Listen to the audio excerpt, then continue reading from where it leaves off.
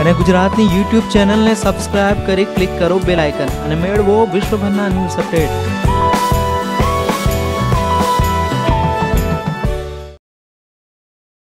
ભરૂચના મુનશી મનુબરવાલા ચેરિટેબલ ટ્રસ્ટના silver jubilee પ્રસંગે આયોજિત કાર્યક્રમમાં રાજ્યસભાના સાંસદ અને ઓલ ઇન્ડિયા કોંગ્રેસ કમિટીના ટ્રેઝરર અહેમદ પટેલ ખાસ ઉપસ્થિત રહ્યા હતા.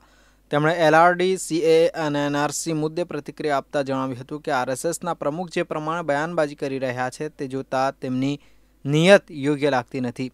રેલવે સહિતની અન્ય પીએચડી સંસ્થાઓનું જે પ્રકારે ખાનગીકરણ થઈ રહ્યું છે તે જોતા સરકાર અનામત ખતમ કરી રહી હોય તેમ લાગી રહ્યું છે. વધુમાં તેમણે જણાવ્યું હતું કે એનઆરસી અને સીએએના કાયદા સામે લોકો સ્વયંભૂ આંદોલનો ચલાવી રહ્યા છે, જેમાં કોંગ્રેસ રાજકીય રોટલો છે કે તે વાત ખોટી છે. કોંગ્રેસ શાસિત રાજ્યોમાં બહુમતીના આધારે કાયદા માટે ઠરાવ પસાર કરાવવામાં આવશે. આ કાયદા માટે સાધન સંપન્ન લોકો ગમે તે રીતે પુરાવા ઊભા કરશે. પણ જે ગરીબ અને અસક્ષમ લોકો છે, જેમને તેમના બાપ દાદાના જન્મદિવસ અને સ્થળ વિશે માહિતી નથી, તેઓ ક્યાંથી પુરાવા રજૂ કરશે? કાયદો ધર્મ કે જાતિ આધારિત ન હોવો જોઈએ, તેથી સરકારે કાયદાની ફેરવિચારણા કરવી જોઈએ. ત્યારે ઉલ્લેખનીય છે કે મુનશી મનોબરવાલા ચેરિટેબલ ટ્રસ્ટ વર્ષોથી સામાજિક અને શૈક્ષણિક ક્ષેત્રે પોતાની સેવાઓ પ્રદાન કરી રહ્યું છે અને આ ટ્રસ્ટ સિલ્વર જ્યુબિલી ઉજવી રહ્યું છે. એમની પાસેથી બીજી શું અપેક્ષા રાખી શકાય? ખરેખર અને માત્ર કોઈ રાજકીય પક્ષોની વાત નથી, જે જાતનું આંદોલન ચાલી રહ્યું છે, બીજું બધું ચાલુ રહ્યું છે, એમાં લોકો તરફથી સ્વયંભૂ આંદોલન ચાલી રહ્યું છે. ત્યારે માત્ર એમ કહેવું કે રાજકીય પક્ષો પોતાનો રોટલો શેકે છે, એ વાત બરાબર નથી. અનામતના મુદ્દે, અનામતનો મુદ્દો તો છે જ.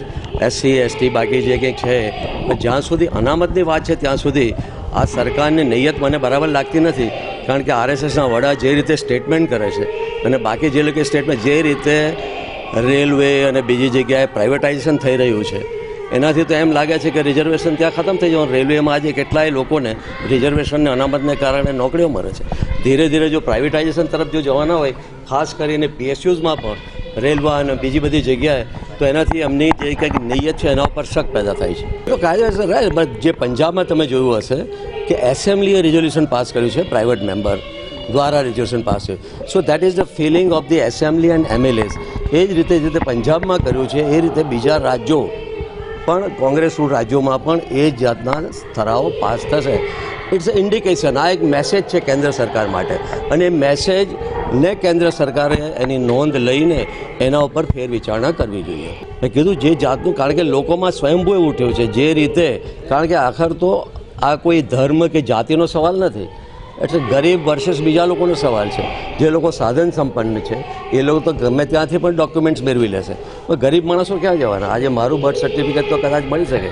પરંતુ મારા પિતાશ્રી કે બાપ દાદાઓ જે ગરીબ માણસો તેમને પોતાને ખબર નથી કે એનો જન્મ ક્યારે થયો હતો અને ક્યાં થયો હતો. એટલે આ જે રીતે મુશ્કેલીમાં મુકાવાના છે, એને કારણે આ આંદોલન ચાલે છે.